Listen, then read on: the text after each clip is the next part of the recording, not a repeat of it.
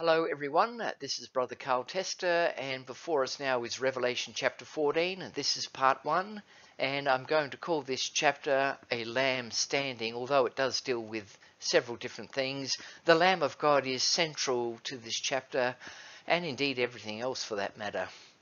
Now, if you are watching this the video of this presentation, you are going to notice if you are observant that I have used an image of a sheep throughout and this was not intended and it has been brought to my attention by my wife and she carefully reviews everything and this is very helpful to me but I'm going to let this aspect through on this occasion and trust that you will understand that we are talking about the Lamb of God. So, with that out of the way, I'm going to get on with it. Revelation 14 is a parenthetical chapter situated between Revelation 13 and the development of pagan Rome into its most dreadful form as papal Rome. And of course, with this came tremendous ecclesiastical and temporal tyranny. And then on the other side of this is Revelation 15 and 16 and beyond, which sets forth the vials of God's wrath being poured out against that same system. In between this is Revelation 14 and the Lamb standing, and with him the 144,000, which are the redeemed of the Lord. When we looked at Revelation 13, the situation was very dire indeed. God's people were being overcome, worn out, and killed, and in the natural it looked utterly hopeless. After reading Revelation 13, we might be excused for asking the questions as to why do the wicked always seem to prosper? Why does the devil seem to get away with so much in this world? And what about God's people? Are they always going to be despised, rejected, crushed, and put to death? What is God really doing for his people? Is it simply a matter of his people having to grit their teeth and put up with it until they die and then their reward only comes after this? How can the redeemed remain joyful during such times as these? How can they fare well if they are constantly being hounded like wild animals all of their lives? Revelation 14 is here now to encourage the saints to keep on as Jesus said in Matthew 24, but he that shall endure unto the end, the same shall be saved. Or over in Revelation 21, he that overcometh shall inherit all things, and I will be his God, and he shall be my son. Or what Paul said in 2 Corinthians 4, where it says, For our light affliction, which is but for a moment, worketh for us a far more exceeding and eternal weight of glory. And we need to remember that Paul went through tremendous physical suffering, which he termed light affliction. So, with all these things in mind, with all the terrible events in Revelation chapter 13, we are reminded in Revelation 14, verse 1 And I looked, and lo, a lamb stood on the Mount Sion, and with him a hundred forty and four thousand, having his father's name written in their foreheads. And I heard a voice from heaven as the voice of many waters, and as the voice of a great thunder. And I heard the voice of harpers harping with their harps. Verse 3 And they sung as it were a new song before the throne, and before the four beasts and the elders and no man could learn that song but the hundred and forty and four thousand which were redeemed from the earth. These are they which were not defiled with women, for they are virgins. These are they which follow the Lamb whithersoever he goeth. These were redeemed from among men, being the firstfruits unto God and to the Lamb. And in verse 5, and in their mouth was found no guile, for they are without fault before the throne of God. Now, insofar as the 144,000 are concerned, I direct you back to Revelation 7 part 2 for an explanation concerning this. This is another symbol used in a book of symbols to designate the sealed of God, the remnant according to the election of grace, as it says in Romans 11 verse 5.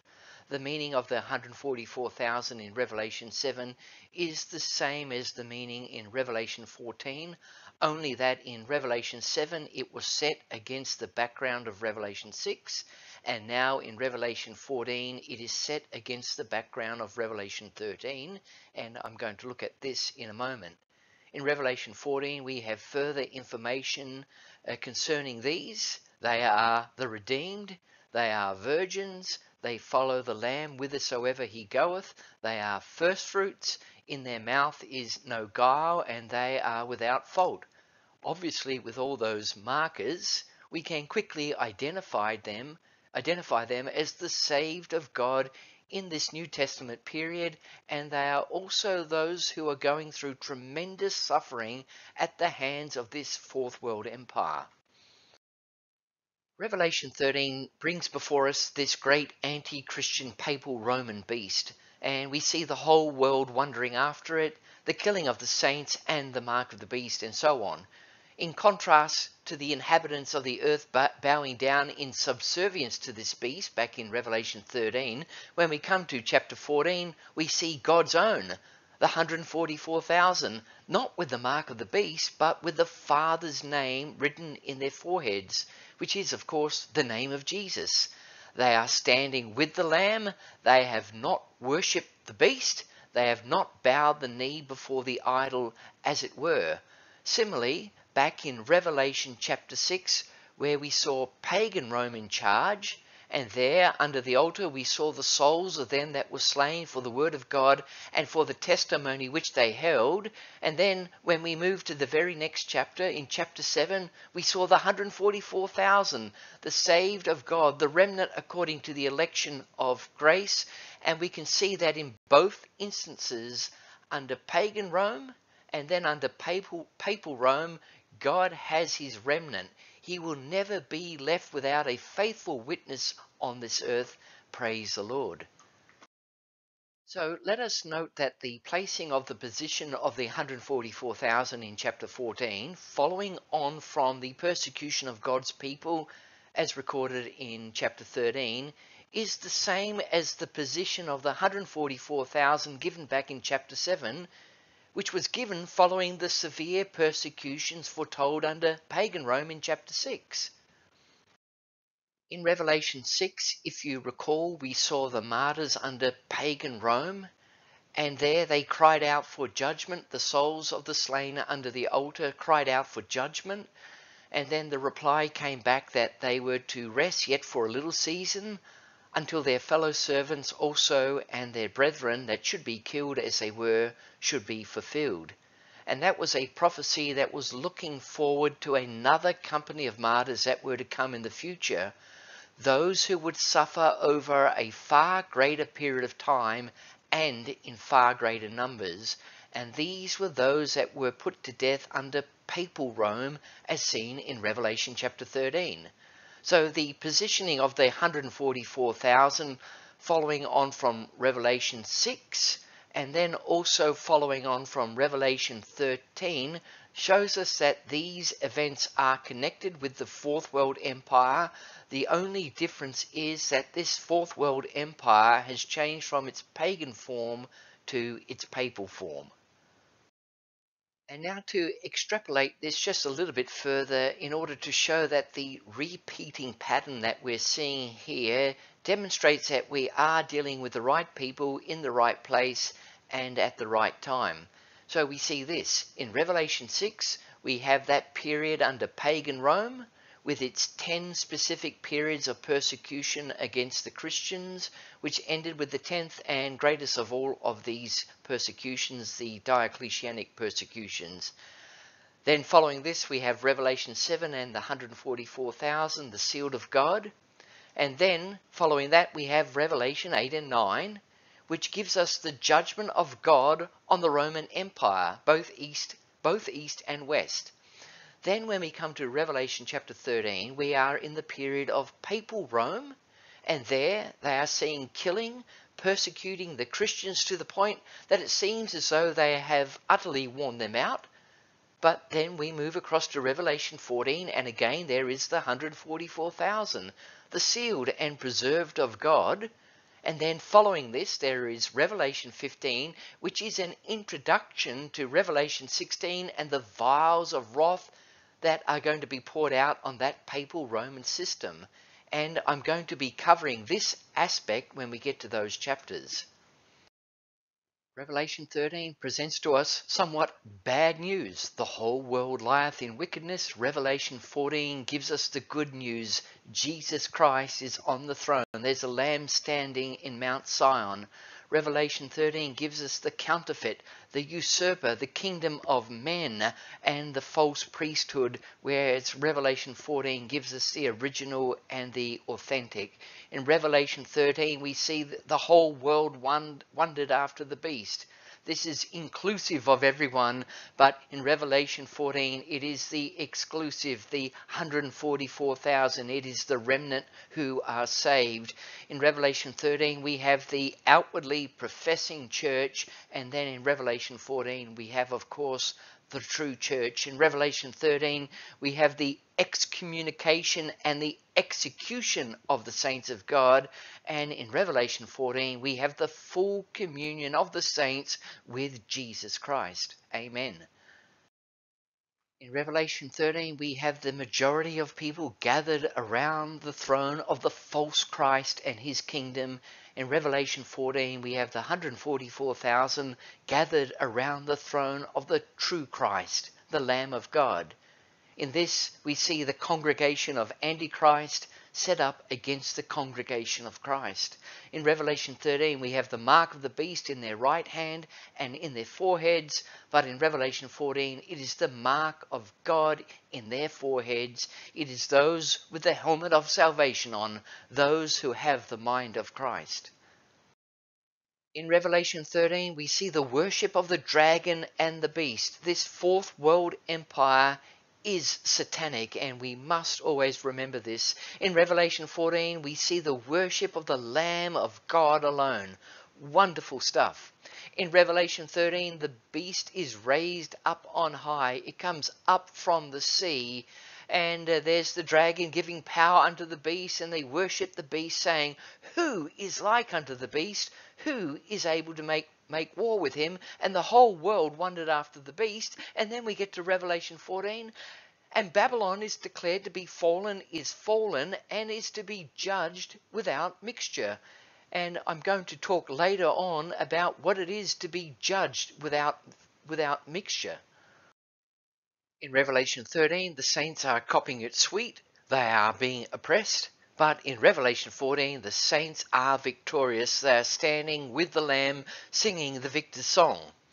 Now, this does not mean that they are free from oppression and persecution, but what it does mean is that they are victorious.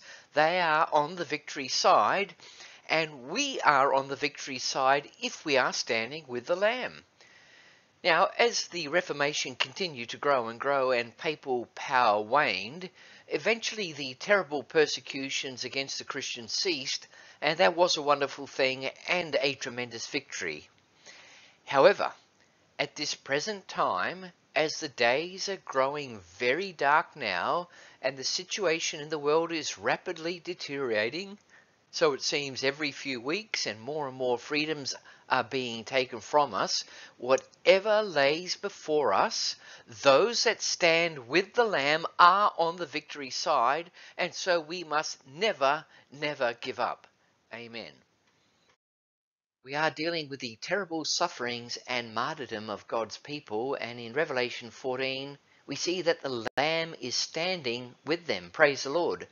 Now, normally in the New Testament, after Calvary, Jesus is depicted as being seated. And this is because all the work has been done. And so he is seated on the right hand on high. But when it comes to the martyrdom of his people, he is shown standing. And we see this first in Acts 7, verse 55, with the persecution and martyrdom of Stephen, who, near to the point of death, said in Acts 7, verse 55, But he, being full of the Holy Ghost, looked up steadfastly into heaven and saw the glory of God and Jesus standing, praise the Lord, standing on the right hand of God, and said, Behold, I see the heavens opened, and the Son of Man standing on the right hand of God. And I will take this opportunity to clarify that the scripture says that Jesus is standing on the right hand is not the same as saying Jesus is standing at the right hand.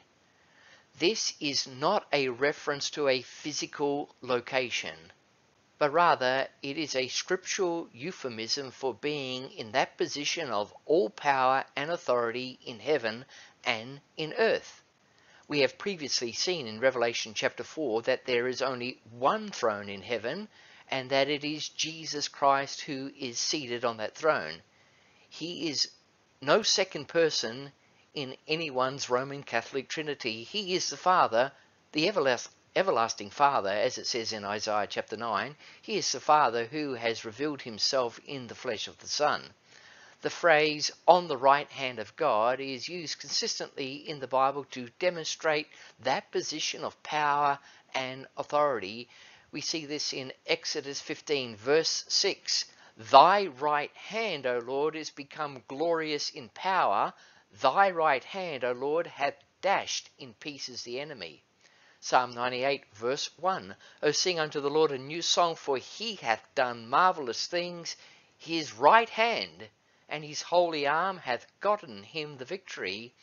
Isaiah 48 verse 13, Mine hand also hath, la- hath laid the foundation of the earth, and my right hand hath spanned the heavens. When I call unto them, they stand up together. Again in Revelation 14 verse 1, they have his father's name written in their foreheads.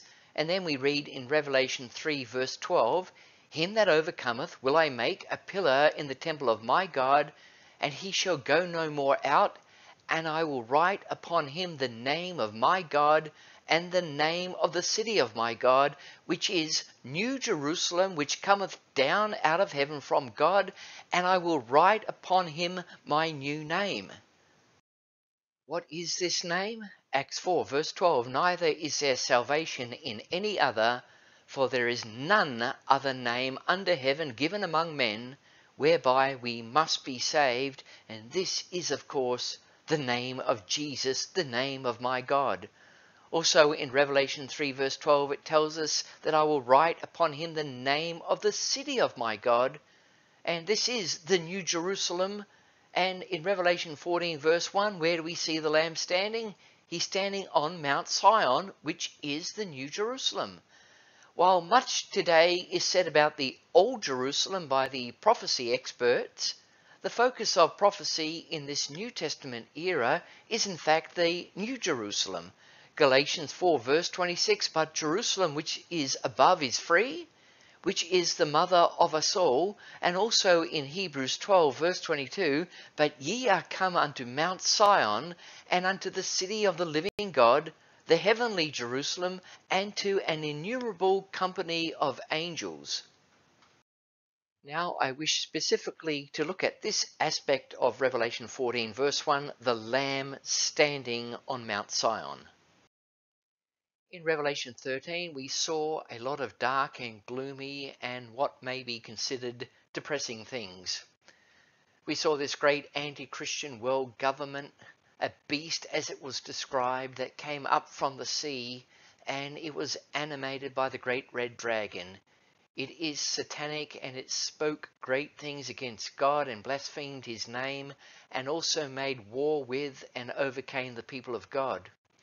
And now standing next to this and in stark contrast to it, we have Revelation 14 and God's response. And I looked, and lo, a lamb stood on the Mount Sion, Sion, and with him a hundred and forty and four thousand, having his father's name written in their foreheads. This is the response to, this is the remedy for this great, dreadful, and wicked power on earth.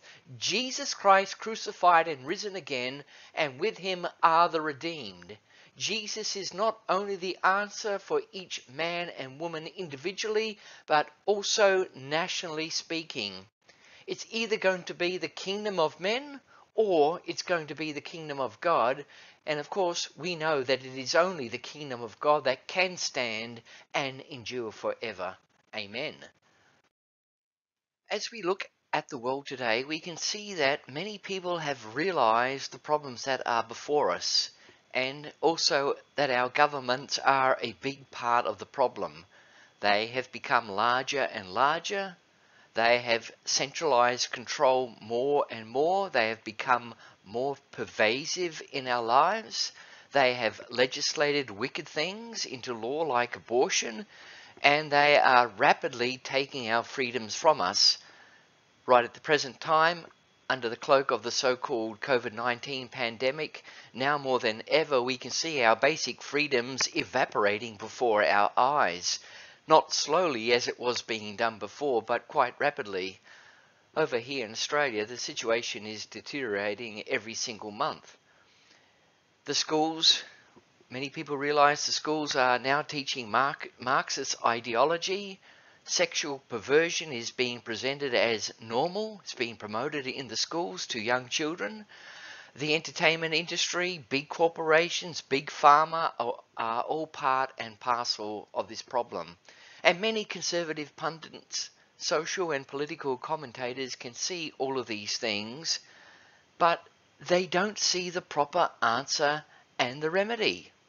How is it really going to help to overthrow the government and then replace it with another one? How is it going to help to vote the opposition party into power during the next election cycle? How is it going to help to elect a conservative government instead of a liberal government? Others are advocating a return to constitutional law, but how is that going to help unless we return to the law of the Lord? All that will happen is that we will be delaying the inevitable. Unfortunately, many people, including professing Christians, are looking for natural solutions to what is an enormous spiritual problem. The scripture says in Jeremiah 17, verse 5, Thus saith the Lord, Cursed be the man that trusteth in man, and maketh flesh his arm, and whose heart departeth from the Lord. Many Christians have become quite despondent and fearful because of the loss of the presidential election, where in 2021 uh, Donald Trump was not re elected uh, president. And doubtless there was a lot of uh, evil machinations and shenanigans that went on there to defeat him. But irrespective of that, we need to understand as Christians that Donald Trump is not the answer. Never was. Jesus Christ has always been the answer and always will be. And we need to, as it says in Hebrews 12, verse 2, look unto Jesus, the author and finisher of our faith. Our hope and our trust has to be in Jesus Christ, not in natural man. And this is what we have now going from Revelation 13, this diabolical system that's come upon the face of the earth. And then we move into Revelation 14, and what do we find? God's answer, God's remedy, God's solution, Jesus Christ, the Lamb standing, standing. He's not slain anymore. He's risen again, and with him are the redeemed of the Lord. Praise his name. In Revelation 13, we have the shifting sand of the sea and the unstable and tumultuous waters of the sea. Out of this chaos arose the revived papal Roman Empire. The Fourth World Empire continued but the whole edifice of human government now rests on brittle feet of iron and clay, as seen in Daniel chapter 2. The whole thing emerged out of instability and is also weak on its feet. Now, you don't build a massive structure on such unsure foundations, but this is what we have in human government, and it is important that we see this. Its bedrock is shifting sand. Well, there is no bedrock. It's standing on shifting sand, unstable waters, and feet of iron mixed with clay. And then set over against this is the Lamb standing on Mount Sion. This is the stone kingdom of Daniel chapter 2, seen as a lamb standing on Mount Sion in Revelation 14. And when we go back to Daniel chapter 2, we see that this stone was cut out without hands, meaning it is not of human origin, and it smites the feet of the image, these feet that are of iron and clay, and breaks them to pieces, and the whole edifice collapses.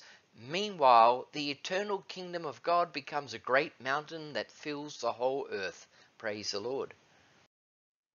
In Revelation 13, the beast seen is exceedingly dreadful and fierce. It's a total monstrosity. Revelation 13, verse 2 says, And the beast which I saw was like unto a leopard.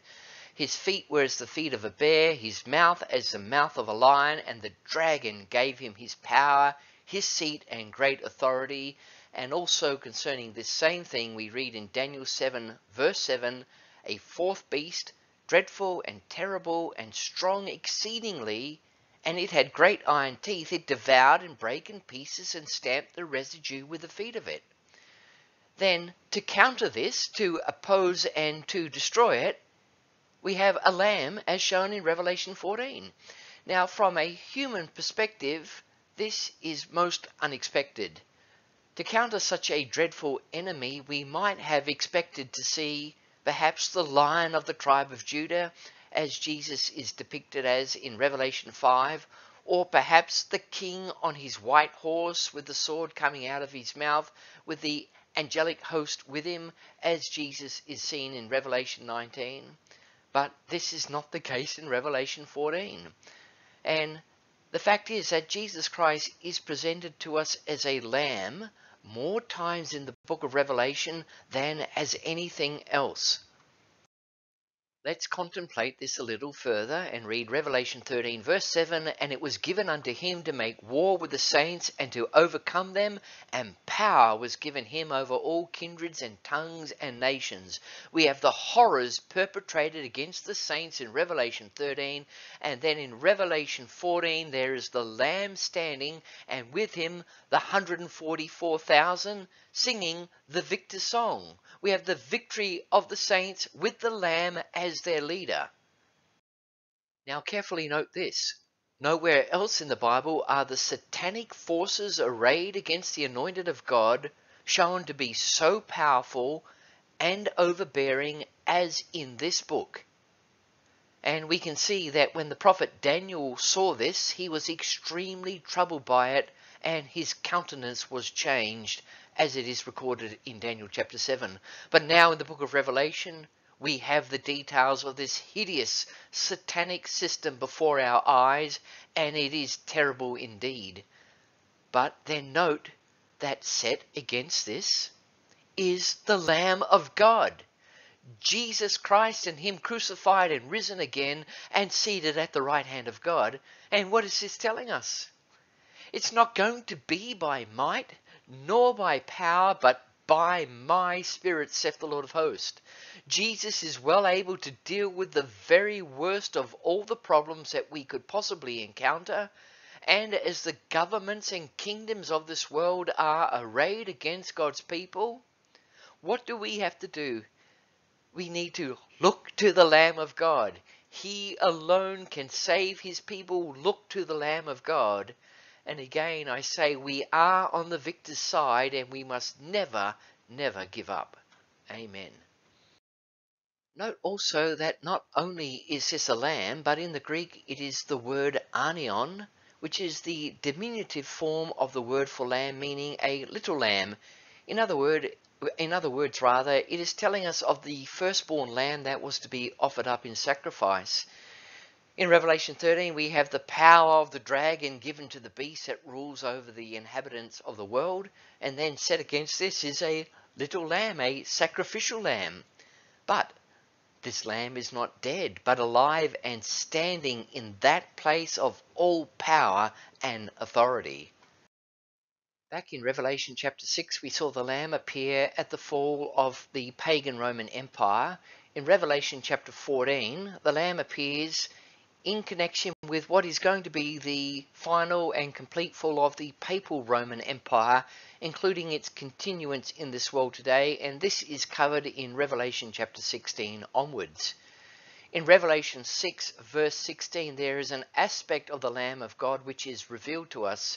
In that verse, it says, And said to the mountains and rocks, Fall on us and hide us from the face of him that sitteth on the throne and from the wrath of the Lamb. This is the same word arnion that is used in Revelation 14. The lamb is the little lamb, the sacrificial lamb, but as we have been seeing, he is risen from the dead. He is standing. All power is his in heaven and in earth. And also now we see the wrath of the Lamb.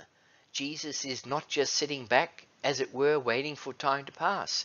In the book of Revelation, he is standing, and then there is also his wrath, his great anger at the wicked.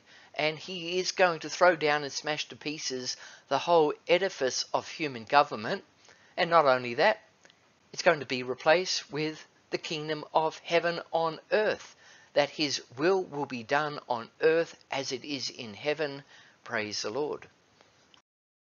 In Revelation chapter 17, we are getting close to the end of this fourth world empire, and there we see this great beast pitted against the lamb. Again, it is in the Greek, arnion, the little lamb pitted against the Lamb and his anointed. And we read in Revelation 17, verse 14, These shall make war with the Lamb, and the Lamb shall overcome them. Not might, but shall overcome them, for he is Lord of lords and King of kings, and they that are with him are called and chosen and faithful. This is the 144,000. It is the Lamb and the redeemed. And this removes all doubt that this Lamb and his anointed will be that which shall overcome this entire dreadful monstrosity of devilish and satanically inspired human government that continues in this world to this very day. Fret not thyself because of evil men, neither be thou envious at the wicked. We are on the right side, we are on the victor's side, and all those that put their trust in Jesus Christ shall not be ashamed. Praise the Lord. Also in Revelation 19 verse 7 we read, Let us be glad and rejoice and give honour to him, for the marriage of the Lamb is come, and his wife hath made herself ready. And he said unto me, Right, blessed are they which are called unto the marriage supper of the Lamb. And he said unto me, These are the true sayings of God. There is great reward before us. Hebrews 10 verse 35 Cast not away therefore your confidence which hath great recompense of reward. Let's go back to Revelation 14 verse 1 again where we see the lamb standing on Mount Sion and then it says and with him and 140 and 4,000 having his father's name written in their foreheads. Let us dwell on these, the redeemed, for a moment. Despite all the fear, the opposition, persecutions, conflicts, trials, and temptations, the 144,000 who represent the redeemed of the Lord, the remnant still stand with the Lamb. And we have seen how real and terrible that opposition and persecution has been. It's been dreadful in the extreme, and who knows what the future may, may bring. But Christ has been with his people, and his people have stayed with him. 1 John 5, verse 4 For whatsoever is born of God overcometh the world, and this is the victory that overcometh the world, even our faith. Revelation 2, verse 7 To him that overcometh will I give to eat of the tree of life, which is in the midst of the paradise of God. Revelation 2, verse 26 And he that overcometh and keepeth my works unto the end, to him will I give power over the nations. Revelation 3, verse 21 To him that overcometh will I grant to sit with me in my throne, even as I also overcame and am set down with my Father in his throne. Psalm 16, verse 11 Thou wilt show me the path of life. In thy presence is fullness of joy. At thy right hand there are pleasures for evermore. Praise the Lord. Psalm 45, verse 15 With gladness and rejoicing they shall be brought, they shall enter into the king's palace. John 17, verse 12 Those that thou gavest me I have kept, and none of them is lost, but the son of perdition, that the scripture might be fulfilled. Isaiah 43 verse 2, And when thou passest through the waters, I will be with thee, and through the rivers they shall not overflow thee. When thou walkest through the fire, thou shalt not be burned, neither shall the flame kindle upon thee. What a wonderful encouragement we have presented to us in this chapter. We can endure whatever is before us if we stand with the Lamb, for the Lamb is standing with us, and we need to trust in Him. Praise the Lord. Concerning the 144,000, Revelation 14, verse 4 says, These are they which follow the Lamb whithersoever he goeth. Now, that is an easy thing to say, but the doing of it can be another thing altogether, especially when the way forward is rough and steep and the crowd is going another way. And then you and I are called to the fellowship of his sufferings, as Paul says in Philippians 3, verse 10. And as we have seen, so many, so many followed Christ all the way. They followed him unto death. So let a man examine himself. Let you and I examine ourselves. How, how far will we go in our following of the Lamb? We need to be prayerful about this. In the hymn My Goal is God Himself by Frances Brook, the words are these My goal is God Himself, not, jo- not joy nor peace, nor even blessing, but Himself my God. Tis His to lead me there, not mine but His, at any cost, dear Lord, by any road. So faith abounds forward to its goal in God, and love can trust her Lord to lead her there. Upheld by him my soul is following hard, till God hath full fulfilled my deepest prayer.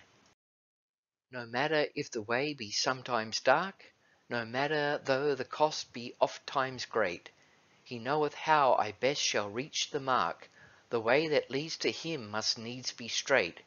One thing I know, I cannot say him nay, one thing I do, I press towards my Lord. My God, my glory here from day to day, and in the glory there my great reward. This is the end of part one.